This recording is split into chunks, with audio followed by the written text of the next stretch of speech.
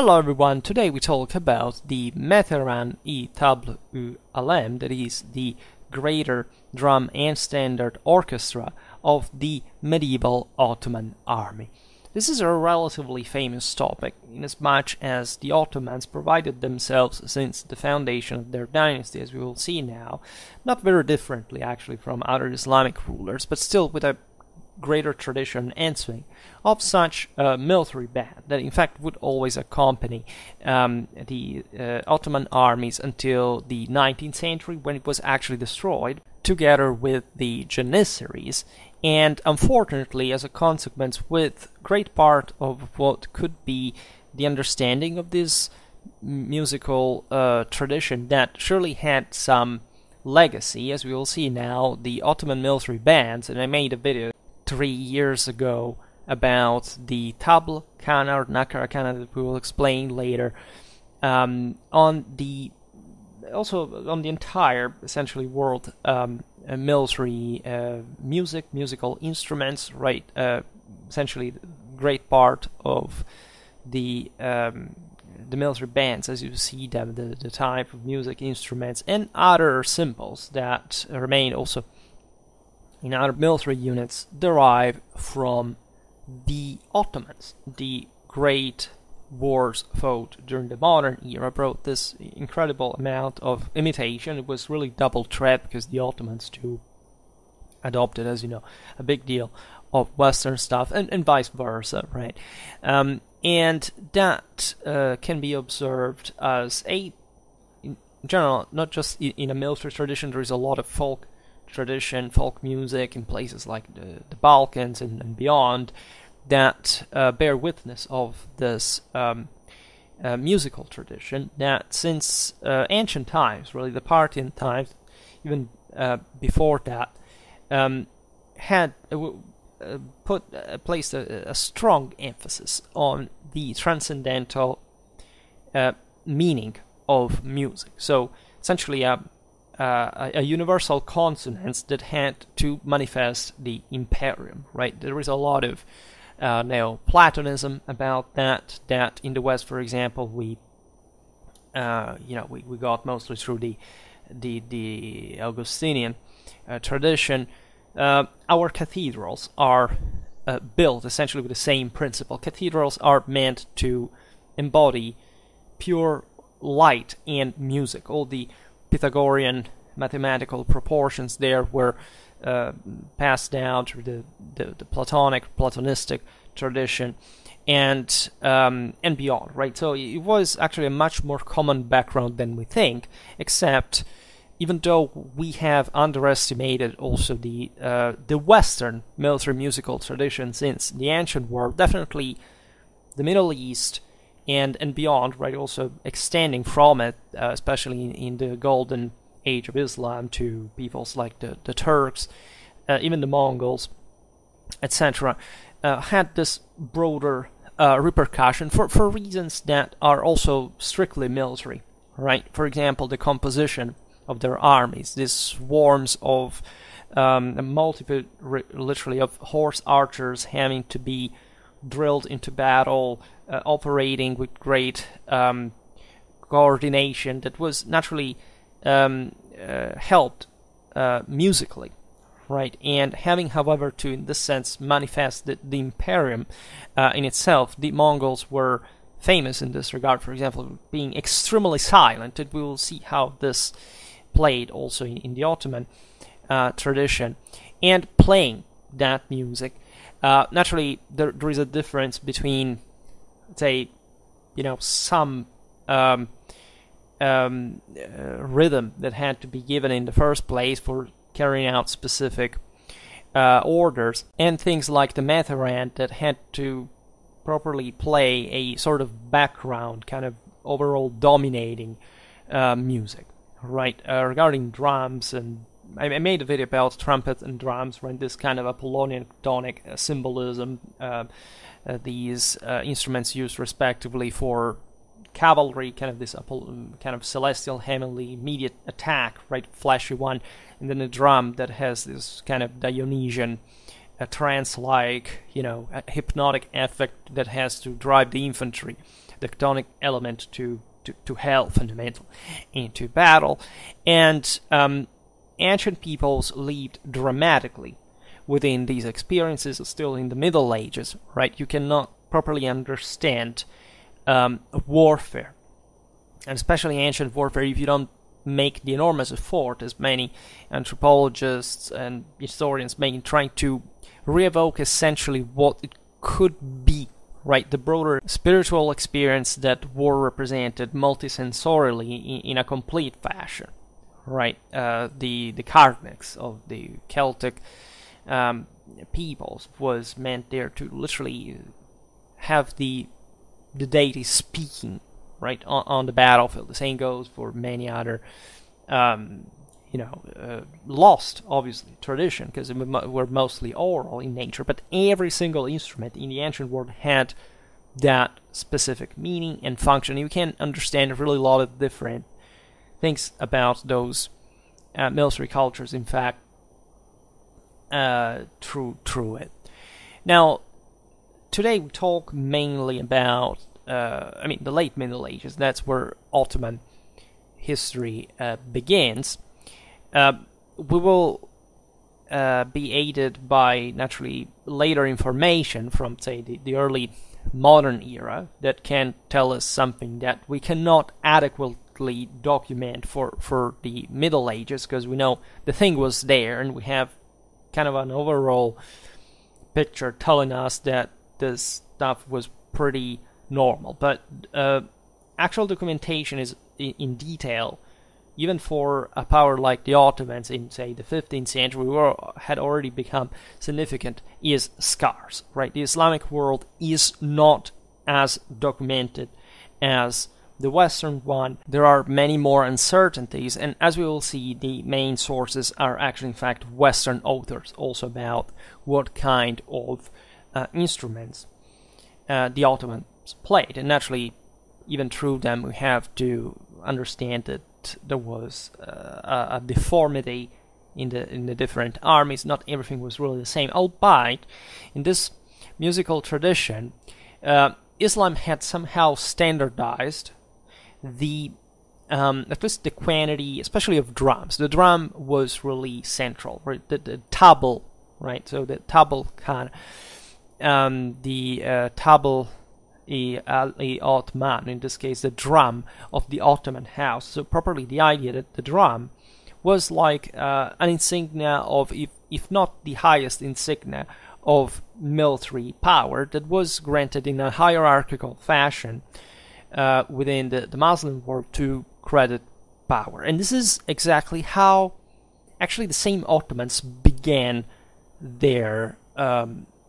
their their empire, right? Because the, the story goes that in the late 13th century, Ottoman, the founder of the, in fact, the Osmanian uh, dynasty, was uh, given a drum, a tug, and a sanchak by the Rum Seljuk Sultan Ala al-Din.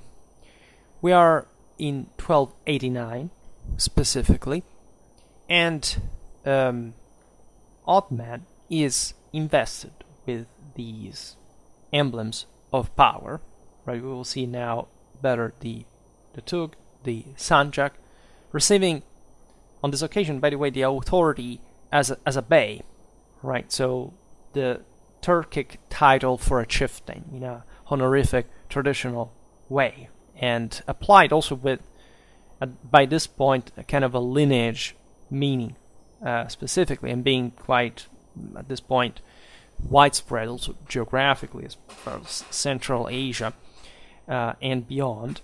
Also, remember in a post-Mongol time, and now we will observe this also as far as the the Mongol tradition was connected, because the Tug there is uh, arguably connected with the same Turks since uh, quite early time, but had been reinforced uh, after the Mongol conquest and, and rule uh, of these areas. Right. And at the ceremony of Ottoman ambassador at the court of the Sultan of Rome, absolute silence was insisted on during the performance of the Navba. Right? Uh, that is to say, the universal harmony, perfection, could not be disturbed on this occasion because literally the imperial power was manifested through it. Right. We know that large kettle drums, known as kusat, we will see them now, were used uh, already, in fact, in the time of the First, when they were carried by elephants uh, on some occasion, and they had literally a place of honor. Now, to understand the extent of these symbols' power, consider that the Khwarezmians uh, in the High Middle Ages were described having, in fact, the, the, the most um, developed practice of uh, the properly the drum, the tabla, um, uh, exaltation, as their uh, traditional ceremonies of power display of the rulers took place with the uh, presentation of a war chariot, symbolizing naturally divine glory and the ascent to to heaven by the uh, the victorious hero, and in that case, the manifestation of the same Khwarezmian power, by placing a huge drum on the chariot. Right? We're talking about this insistence on chariot warfare naturally in areas where this had been born. We were talking about the High Middle Ages, where chariot warfare did not exist anymore. And that's how deeply ingrained this concept really was. A drum that in itself embodies the hero. It's all golden, right? So the um, substance of of the gods. Not only when this show is um, displayed, all the hostages of the various subjected peoples at the Khwarezmian court had to play a, each a smaller drum around this chariot in an act of subordination to really, however, provide further power through the music to the greater power, as they were obliged to. This is a beautiful traditional manifestation of properly the concept of uh, of power as we should understand in a Clausewitzian sense. You cannot have, again, you cannot rule any one. You cannot have a state, you cannot have a politics, you cannot have a community if you do not have the decisive moral support of the people that are ruled, right? So this show was properly displaying this, the fact that there was an inherent reason of, in that case, Khwarezmian superiority over the peoples that uh, this power fundamentally floated on, as any other existing in history at any time, right? So um, the idea that power fundamentally manifests itself in a divine guise because the subject surrenders to the inherent superiority of the ruler right in any circumstance and that's also the, the direct responsibility the total responsibility of every single person for whatever thing happens um, in their polity right? So co- contrary to the fourth estater nationalist and socialist bullshit that we hear today of the the poor innocent common people these great heroes and and and martyrs and saints that are sent to war by the evil dictators without which the world would be just you know a beautiful place where people never die never kill each other default is always and exclusively and completely and totally of the people for any single political action even if their ruler sneezes and i'm not kidding because again traditional religion says this pretty out clear and loud. People at the time, as it would be common knowledge if we didn't live in these times, in fact, uh, instead, were way more intelligent than what we are today. Never commit the childish mistake of thinking to be kind of more capable of or, or, or intelligent. In fact, I don't know that a than a 12th century, 13th century cavalrymen, horsemen, because you just aren't, but especially you will never be, right, in your entire life. Um, so the, the, the concept of, of the drum house, the kettle drum house, the military band house, because the, the same Mehteran ib table ulm is often simply translated as the military band, but again it derives from this greater suffix, right, mehter, and so referring to the orchestra specifically.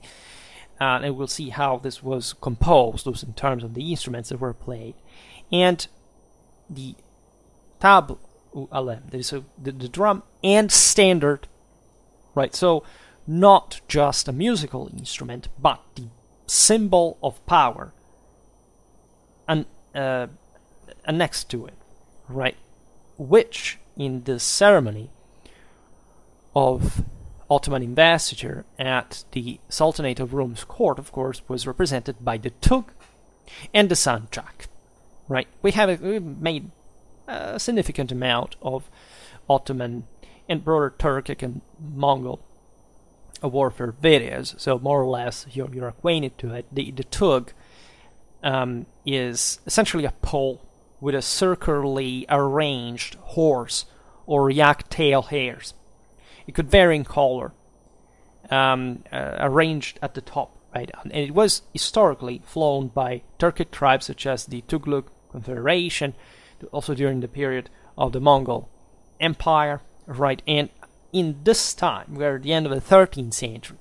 So, in a moment of prevalence in, in the Middle East, of course, of Turkic Mongol Khanates, um, it was essentially now the, the standard symbol of power used, in fact, by, by the Ottoman Empire. Right? Uh, that, as you know, had could, could boast at least dynastically some kind of older origins.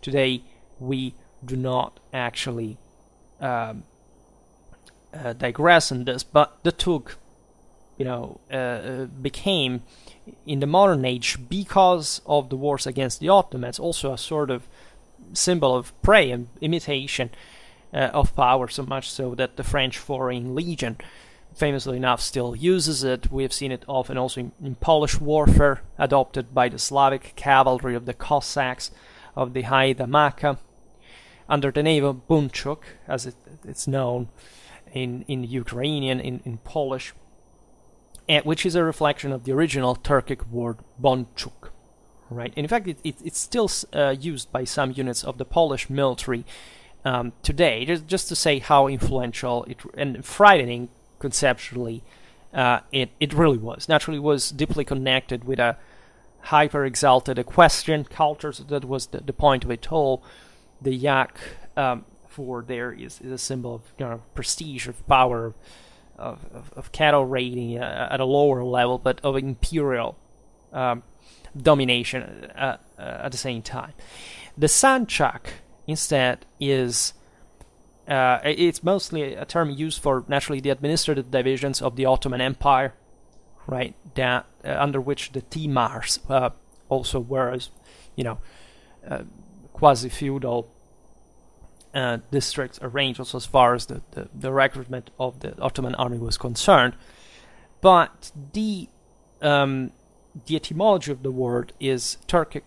Again, Sanchak, Sanjay can can be also spelled in, in different ways because it's transliterated naturally, um, and it um, means, of course, district, but it, it really has an, in its origin the, the term banner or flag, right? So when uh, these peoples normally conquered one place, one province, they fixed essentially their war banner on it right? To say this is the gathering point where, you know, we, we as we are settled here now, and when we have to gather the troops again, that's the place where where we have to gather again. It's, it's a broader universal concept. It's like you know the Roman legionaries fixing the labarum on the newly conquered land, right? And so uh, um, a meaning of conquest, of appropriation, of of of, of imperial um, superiority. Um, there are some Arabic equivalents like the leva, but this is not so important now. However, the important thing being that um, the investiture of the Ottomans as Beys um, was carried out by playing the nabba and providing Ottoman with a tug and a sanjak at the same time, and silence was enforced. Um, because the music itself was sacred and it had to be played with this meaning. Now, what were the origins of the Mehter specifically? Right, as an orchestra, do we know any of this? Well, um, there are some traditions uh, in earlier Arabic sources.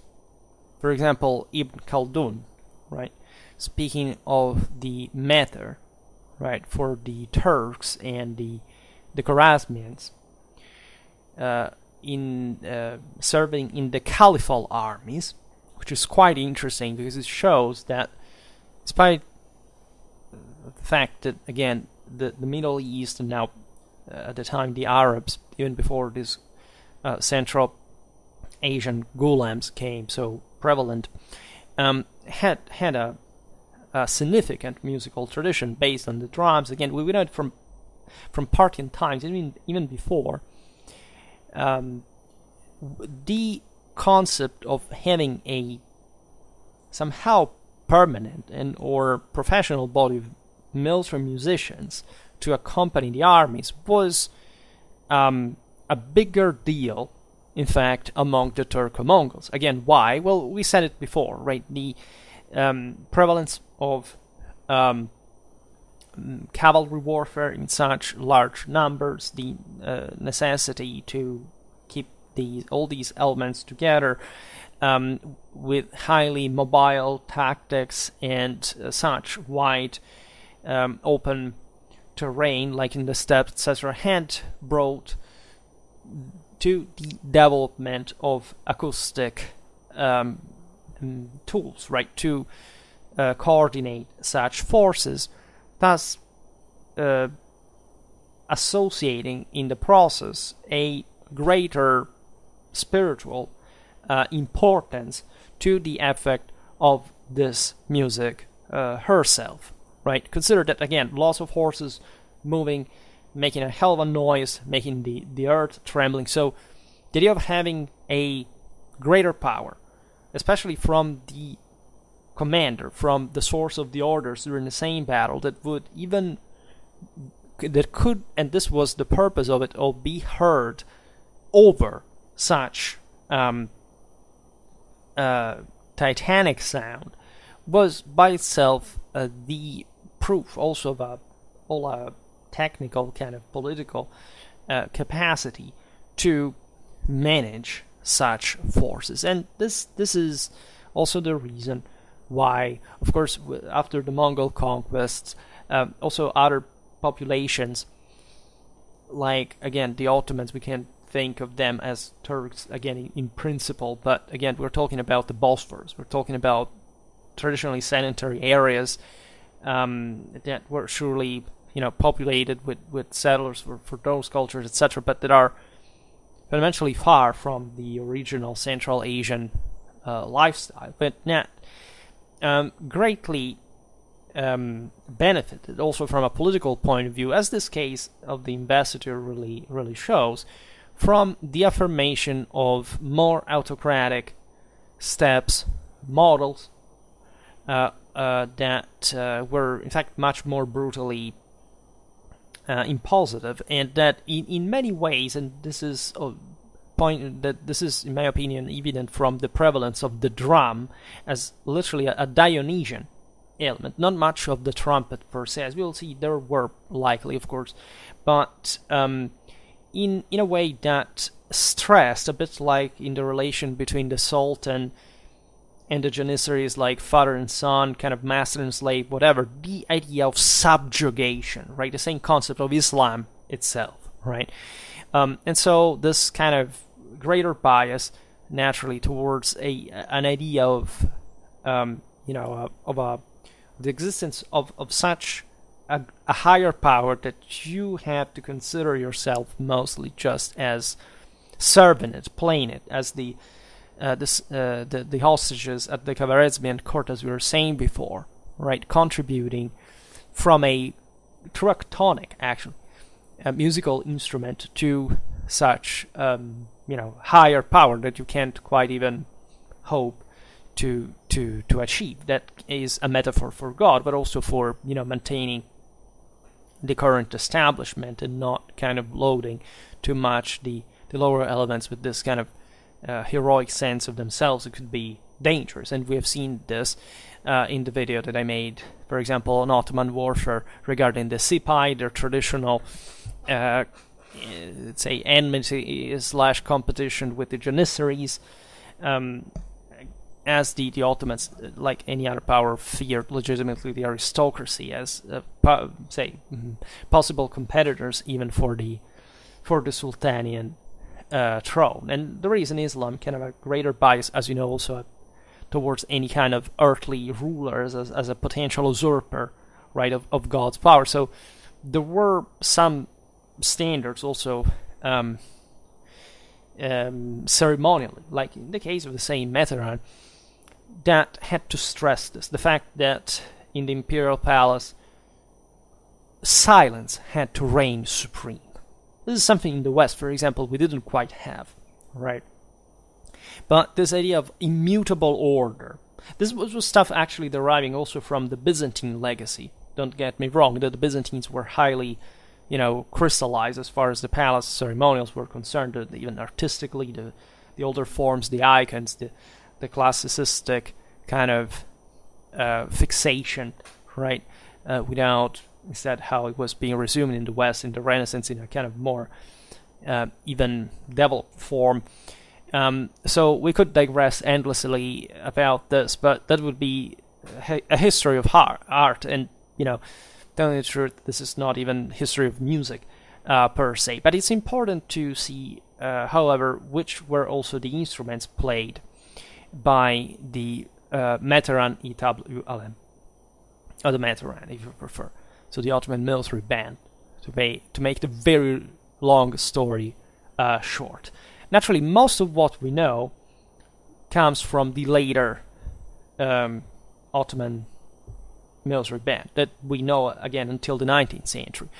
Uh, as far as I know, in Turkey, uh, in in the Turkish military, there is still a um, a thing of this kind. There are uh, kind of reenactment of these, this older tradition of music, but there is a problem uh, exactly in the historical dimension of music uh, that uh, concern the fact the reconstruction, what kind of music, not just was played, but how it was played, and, and that unfortunately has been relatively lost because what, what is being reconstructed today is somehow a hybrid, right? As far as I know, there are popular there is popular music there from World War First, etc. But it's not quite what unfortunately went lost in great part in 1826. Uh, so for the Middle Ages, it's even more complicated, as you realize.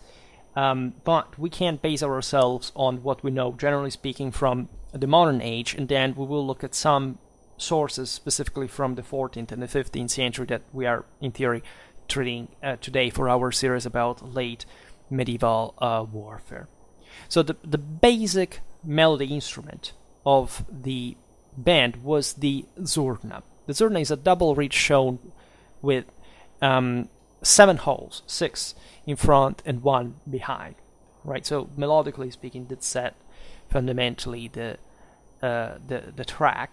Um, and there were, by the way, there were different military bands, right? Here we're talking about the official one, so the Sultanial band in the first place. Uh, well, this one naturally had to uh, just be over in in uh, greater in in size and in sound in in everything to any other.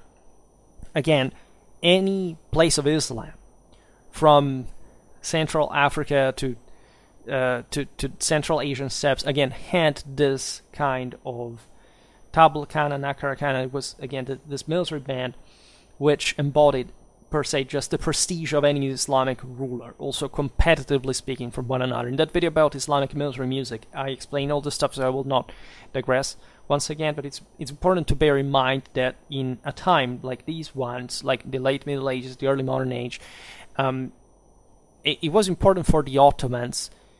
Um, uh, as they emerged as the greatest Islamic power, but to assert that in the first place. So it was still a matter of competition right? It's just like the competition that existed in the Western court, saying which was the most magnificent, whatever, all this stuff, right?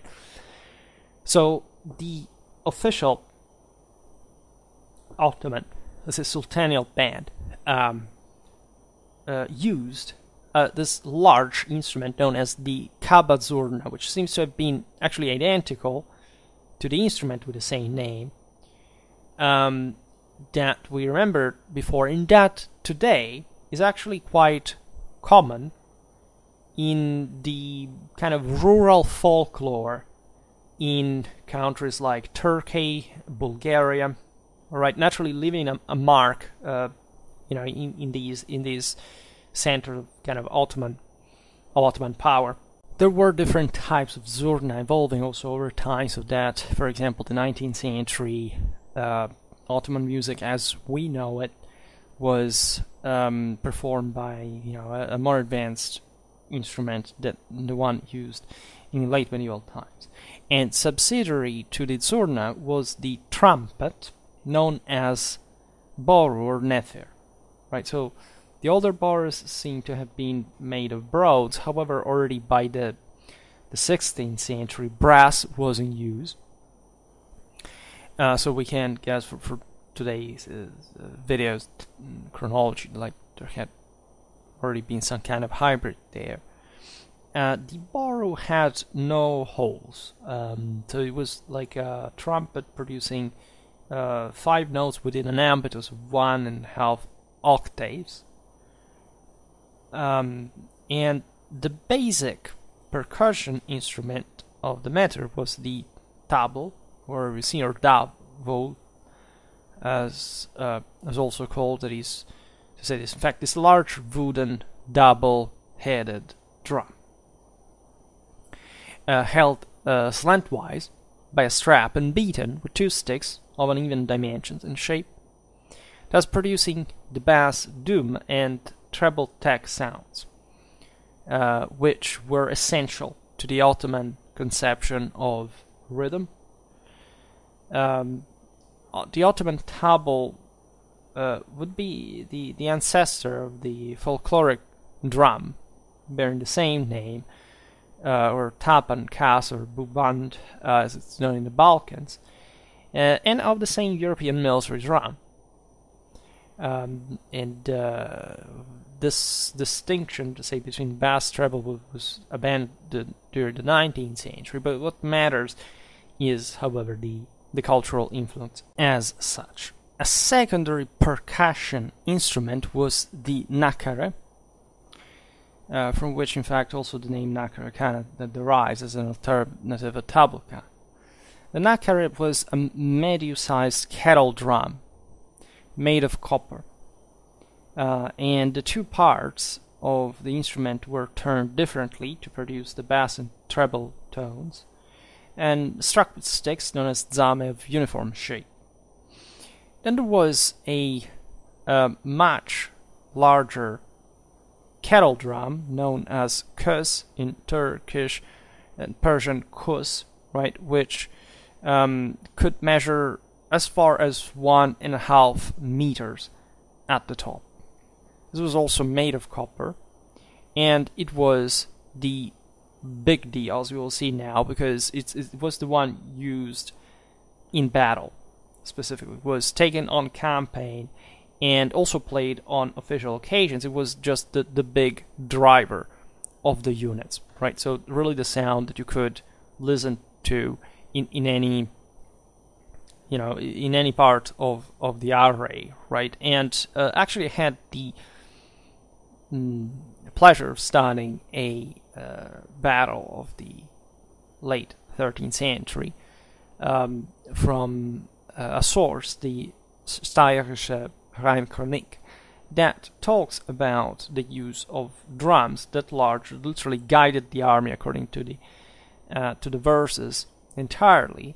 Um, so this large drum existing also, however, in Western Europe. There was um, a German example, right? So, well, at that point, uh, exactly in this years, actually. Um, so, well, before the Ottomans were rising to a, you know, to, to, to a much greater level, and you know that that local instrument would have been used anyway. So, I presume I don't know how much uh, historiography has dug in Western military musical instrument. It's again I specialize specifically in uh, in uh, in this you know medieval warfare in general. So from a, from a Western perspective, we're mostly studying European history, and albeit I did find multiple you know hints at musical instruments uh, on the battlefield, etc. It's objectively true that there is kind of the impression of these instruments being less uh, out there, and part of the reason is the documentation, what the sources wanted to write or not to write. So I will not digress into this topic, but it's one of the, ones I'd like really to um, to deepen better, even though I'm no expert about military music per se because um, it seems to me that we may have easily, also comparatively to what I've seen in other aspects of warfare, like properly misunderstood a big deal of how much military music was important on the battlefields. Because also the, the instruments were the same, the functions were the same. You don't find much variation uh, in this regard. Um, the drum of the Mehter was supported by two types of brass percussion, the halilas or zils, so these are cymbals, and the chafgan, that is instead a, a crescent shaped jingle rattle with, with bells, which was also typical of the steppes. Uh, normally, st- steppes, horses were, uh, you know, going barded with this bells attached on them so that they had to, to ring. Uh, as much as also there were other banners with these rings and so on, they, they were meant to naturally um, transmit in a kind of transcendental way that kind of divine order, um, divine force agitating within such a heavenly animal as the horse, as much as could be chthonic as well, in the point of conjunction between uh, heaven and, and, earth, right? And so as much for, for the banners as well. And so such celestial music had to somehow spur further, like had to, to render aware, creating a, a sort of even a screen around the horse, just in, in, in the horseman with, through the, the manifestation of power uh, ipso facto. Now, what kind of music was played concretely? I, I will say a few here because it, it also becomes complex because it's mixed with other. We, we don't know so well, but it, there are many other connections where not just military. So um, the repertoire was named was known as Nevbet or Fasil. Right. Um, we have just like from also later time six pieces survive surviving. Um, the the, the, the repertoire we know about was connected properly with, with the Ottoman court music, so we know also less about uh, the other bands, of course. Um, the dominant forms were, know, uh, were the ones known as peshrev or the semai, uh, the improvised taksim as well. Um, the first two were uh, two separate genres for uh, the mehter form, which had somehow simpler rhythmic cycles and melodic leaps than what we knew uh, the in fact the Ottoman court music would have become in the contemporary era. So things naturally change over time. We wouldn't play always the same music. This changed uh, in ways also that are difficult to, to reconstruct um, again. And the mm, one performance practice associated exclusively with the mehter was the so known Karabatak, which uh, we, we can spot here immediately an, an onomatopoeic uh, kind of um, kind of harsh and kind of uh, in fact cracking almost uh, uh, you know fire right from from from a battlefield uh, scenario right? In fact this uh, performance alternated soft passages with uh, thunderous ones, um, likely uh, simulating the, the timing of kind of uh, like the, the different intensity of combat, right? With some kind of orderly maneuvers, movements, confrontations, and then the actual units crashing into one another, right? And what is fascinating is that the mehter repertoire uh, for what we uh, again has survived, we can see, uh, is identified uh, in the same sources by the names of individual it- items that are quite eloquent. That is, for example, the same Sanjak standard, right? So referring to political territorial power, the Atlu, referring to the horsemen, the Alay Duzen, that is the par- parade order, right? So some and the Elci, so the ambassador, something ceremonial in nature. There is also the Arbi, that, however, is the probably the martial um, repertoire uh, instead. So you understand that this band uh, played essentially in many circumstances. We will see it now um, still having to express fundamentally the universal power of the Ottoman sultans, right? So the, the most important, uh, as we've seen, mehter was the one of, of the sultanial court, in fact, uh, as it was part of the palace service. What is also fascinating and reminiscent of that thing we said before about the Khwarezmians and the same practice uh, for, for what you know consisted in is that the musicians of the Mehteran uh, were, right, at least at, at, this point in history, originary of the Dev Shirme. In other words, these were the same uh, troops as military musicians that had been uh, levied from mostly the, the subjected provinces, mostly the Balkans, as you know, Albanians, Serbians, etc., to make up the Janissary Corps. As such, they were trained in the Palace School of Music once they were selected for becoming military musicians. Um, and interestingly enough, we do have names of some composers, at least from slightly later times, the 16th, the 17th century, such as respectively uh, Nefiri Behram, Zurna Zanbashi, Ibrahim Aga, right?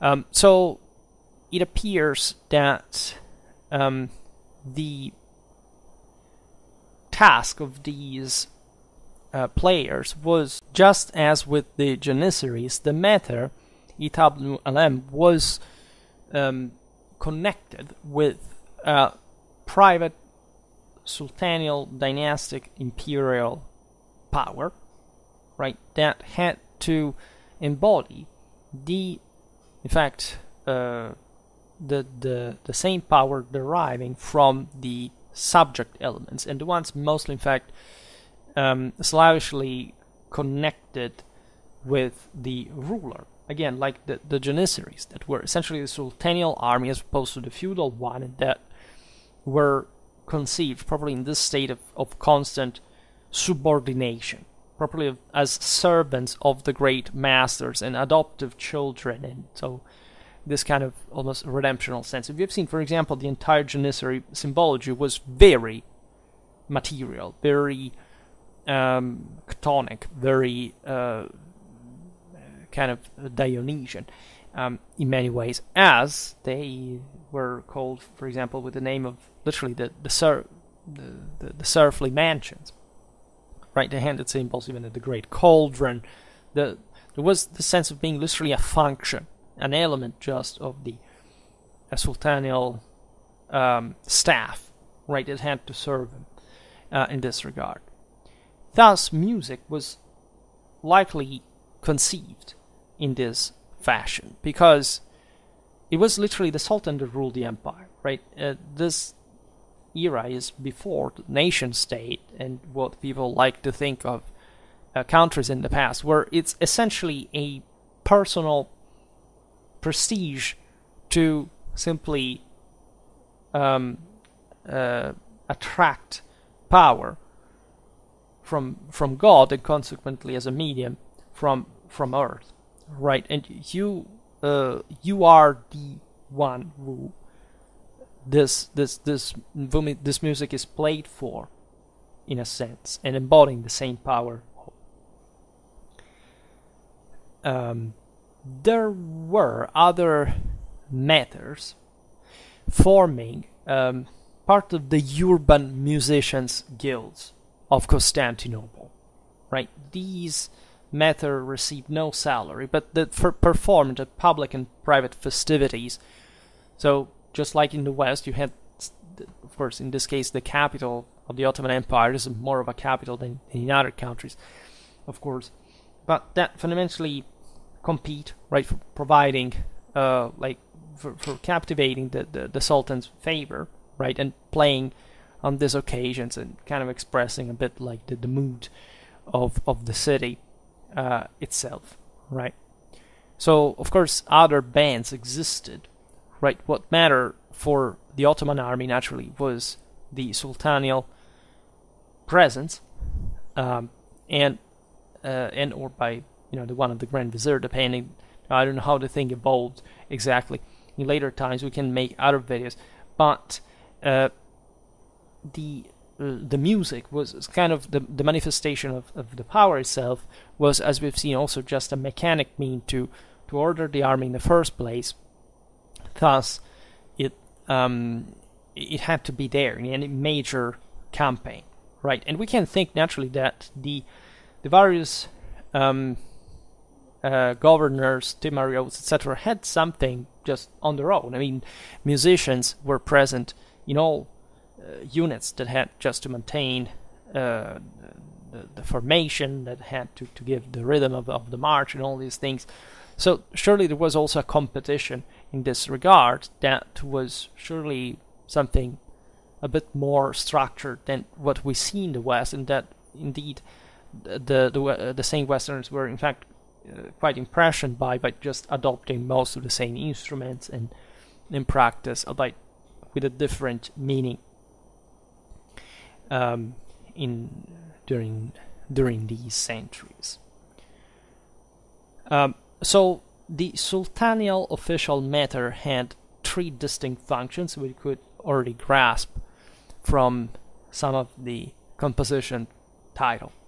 So the mehter, first of all, was a military band. So the main task was playing continuously during battle. It's as if if you had uh, by stopping that, right, you would have stopped the entire army from fighting. It's as if this music was pouring constant divine power through the sultan into the the forces, right? And that's why it was specifically the sultans, because if according to tradition, of course, if this commander had not been adequate for his role, uh, also the the this uh, this function would have not been properly performed, and the order of the army would have would have collapsed.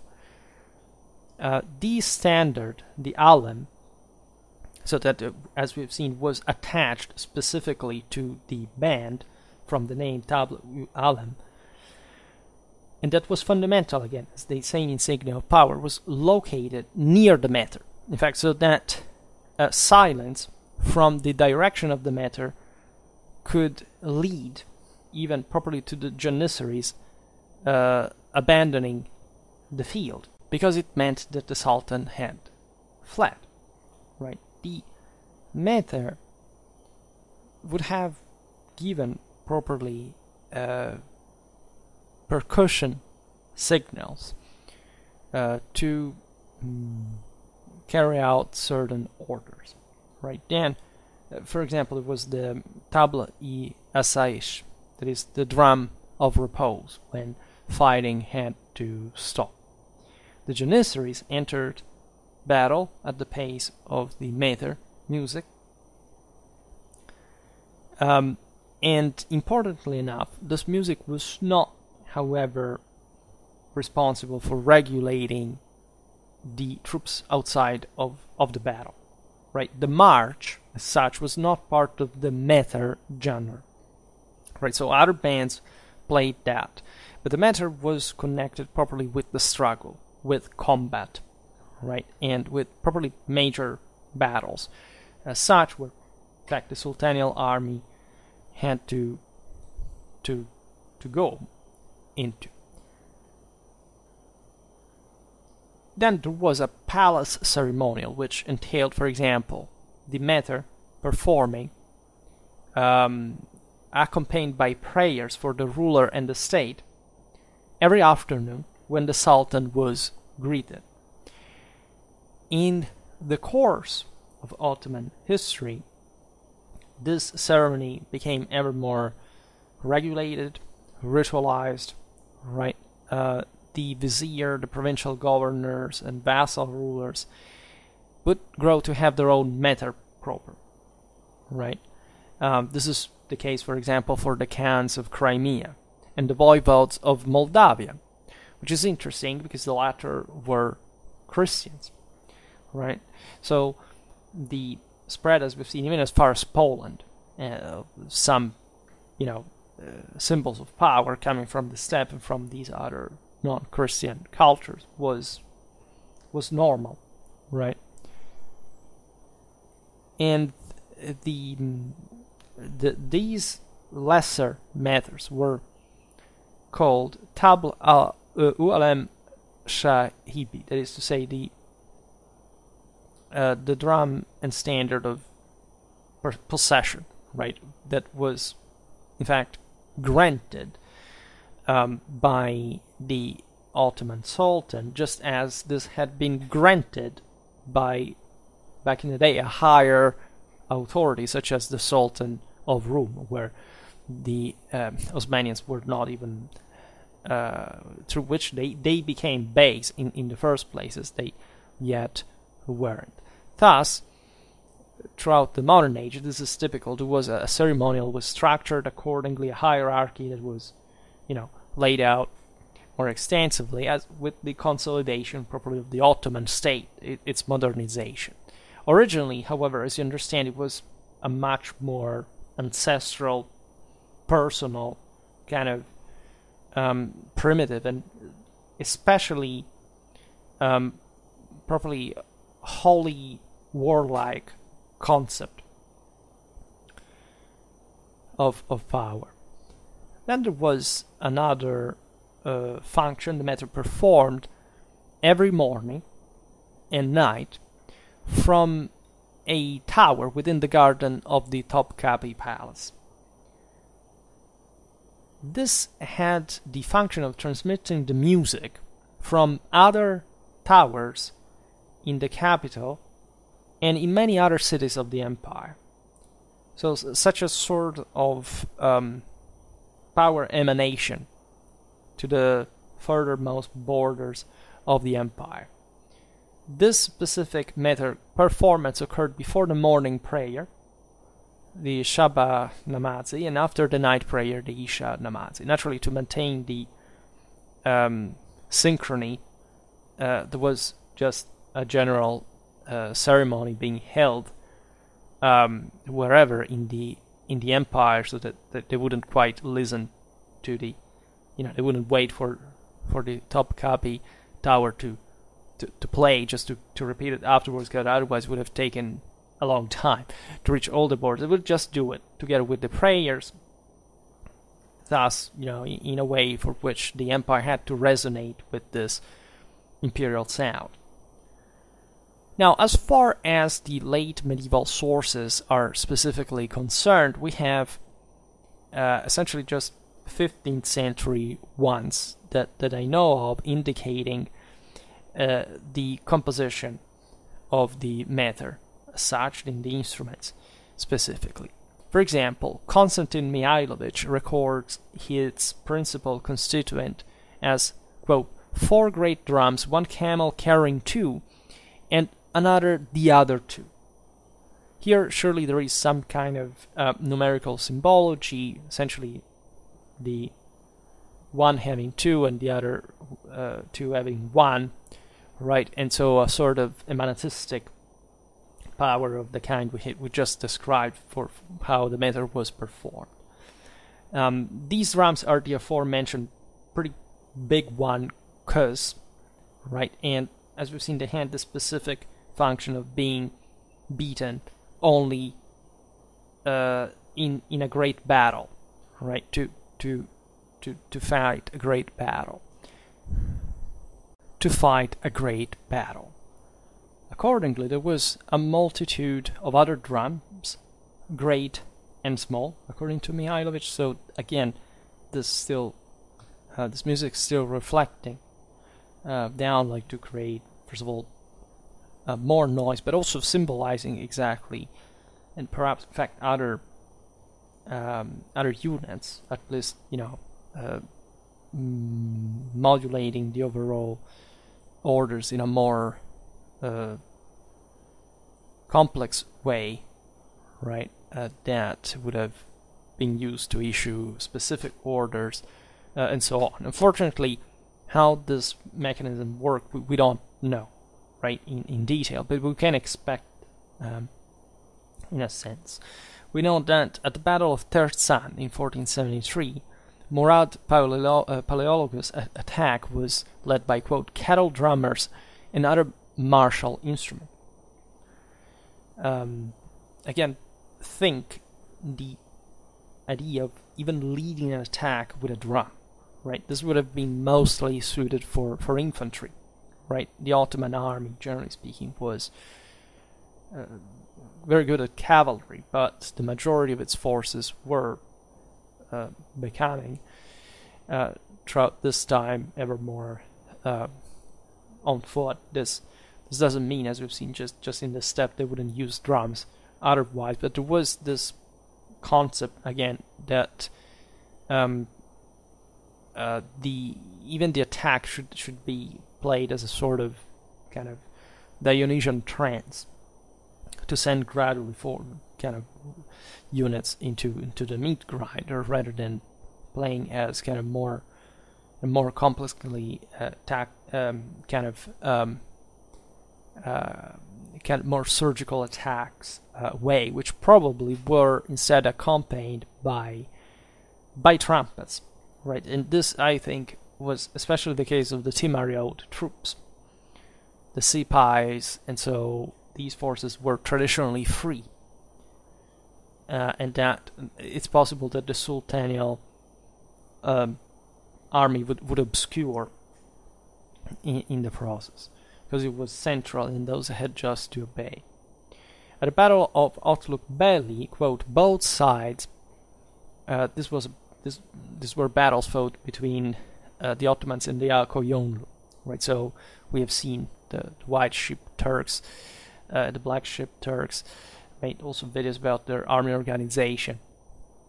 So they were somehow similar with one another. The, the latter Turks being more Persian influence, but fundamentally, as we've seen, having received this older tradition, musical tradition from both the the Arabo-Persian and Turco-Mongolian uh, background. Who said, both sides sounded a countless number of nakers, drums, and other warlike instruments.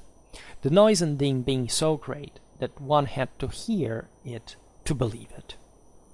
Again, remember these bands had to sound louder than an entire army moving, louder than cannons, and to be neatly uh, distinguished, and the orders that were carried, carried through that.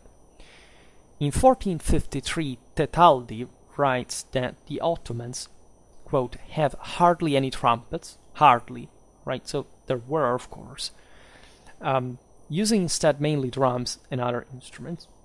This again could be the case, but 1453 is naturally the siege of Constantinople. So um, there wasn't there was a, a, very large infantry force, right? Also of other subjected peoples and beyond. So that kind of more chthonic dimension might have been more symbolically um, relevant, properly the idea of even subjugating the same Constantinople at the sound of the the same serfs of the Sultan, right? So something that stood even uh, under that. Other sources, however, do mention trumpets. For example, Chalcondyles records them together with pipes and cymbals. Barbaro, on the other hand, refers constantly only to, quote, castanets and tambourines. Again, um, we don't know. Naturally, these sources are uh, different. Some here you understand are Slavic, some are Italians, some are Greeks. Uh, so they, they had all a different background to, to describe this, this stuff.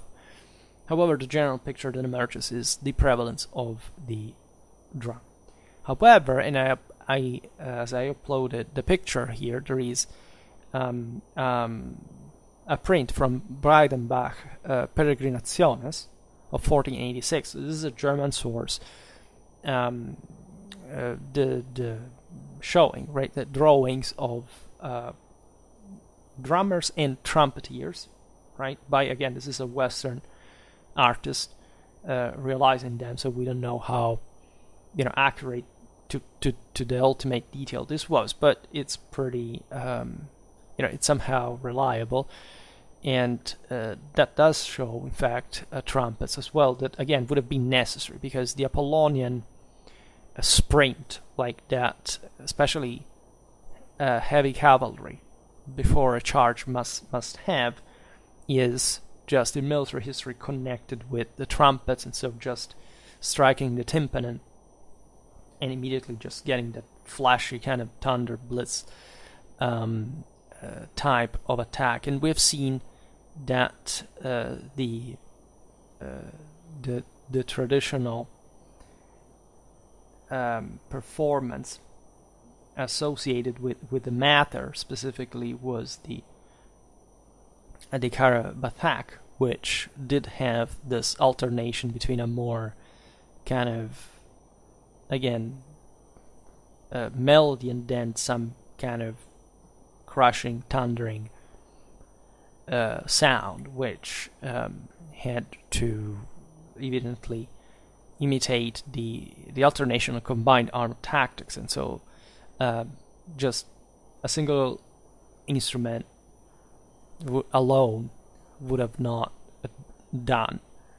Um, and I can't stress how the two things, how strictly connected the two things were. In any case, the drums were prevalent as well. So consider that when you consider also how the Ottoman army was led, in which perspective, again, this kind of sort of um, servitude, uh, especially as far as the sultanial element, the core of the army was was uh, concerned.